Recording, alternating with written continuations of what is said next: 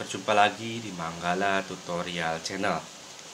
Pada kesempatan kali ini saya akan memberikan tutorial tentang bagaimana cara setting remote multi atau setting remote serbaguna untuk TV LCD atau LED merek Sharp.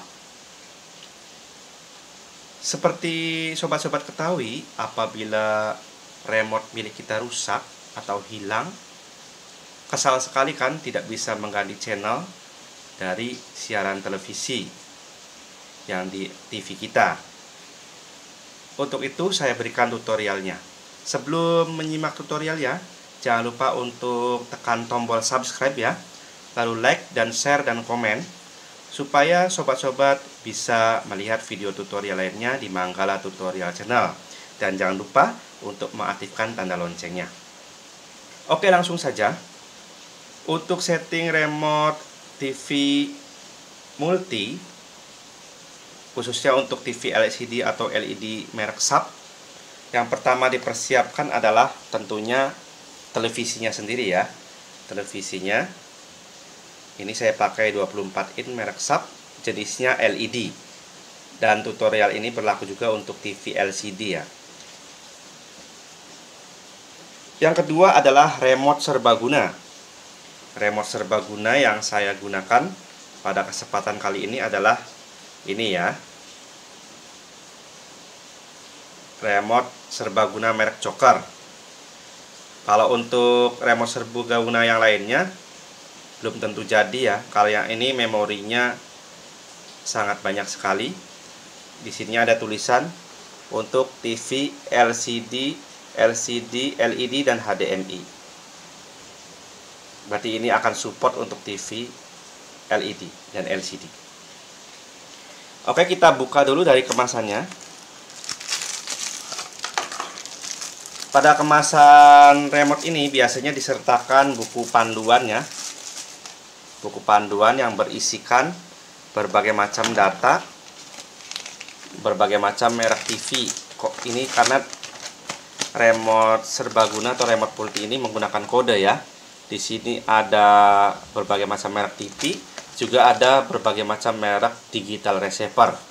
Karena remote ini berfungsi juga untuk digital receiver parabola. Pada saat pembelian biasanya tidak disertakan dengan batu baterai ya. Maka dipersiapkan batu baterai seperti ini. Batu baterai yang digunakan adalah seperti batu baterai untuk jam dinding ya. Size-nya A2, A2 size-nya A2 ya dua buah batu baterai.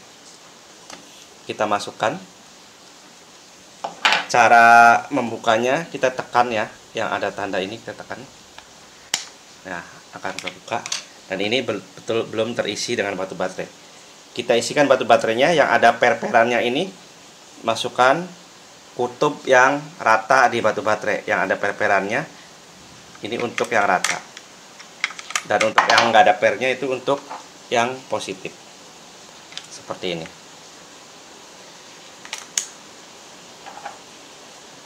Ini yang satunya juga seperti demikian.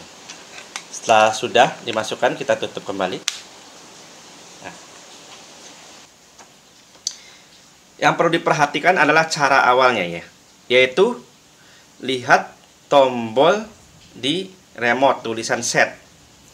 Untuk berbag, e, beberapa merek remote tombol set ini tulisannya cukup hanya ada tulisan S besar saja ya. Tekan tombol set ini ditahan dengan jempol ya. Nih ini ditahan dengan jempol tahan. Lalu tekan tombol power yang sebelah sini yang logonya power ini ya tombol ya, kita set tekan tombol set ulangi ya tekan set lalu tekan power. Jangan kelamaan ya tekan tombol setnya. Kita ulangi lagi tekan tombol set lalu segera tekan tombol power. Tekan tombol set dengan jempol tekan tombol power. Maka remote akan menyala. Lampunya ini ada lampu merah menyala. Lalu kita masukkan kodenya tadi untuk TV sub LCD atau LED itu Maka lampu indikator di remote akan padam. Lalu kita arahkan, pastikan TV-nya sudah tersolok ke listrik dan kondisi standby seperti itu nyala merah. Kita tekan tombol power ya. Tombol power ini. Tombol power. Ini ya, tekan.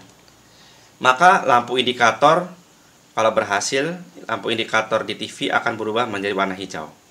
Mohon maaf sekali, saya tidak menayangkan siaran TV-nya karena pernah saya tayangkan itu kena hak cipta ya. Dan untuk mematikannya tinggal mematikan dengan tombol power lagi. Seperti ini. Untuk penyetingan ini cukup satu kali saja, satu kali saat awal pembelian remote-nya. Atau biasanya kalau ganti batu baterai disetting ulang ya. Nanti ke sananya setiap kali akan menggunakan remote ini tidak perlu disetting lagi, cukup langsung menggunakannya saja kecuali untuk TV yang lain. Oke, demikian tutorial kali ini semoga bermanfaat tentang cara setting remote multi atau serbaguna untuk TV LCD dan LED merek Sub. Sampai berjumpa lagi. Bye bye.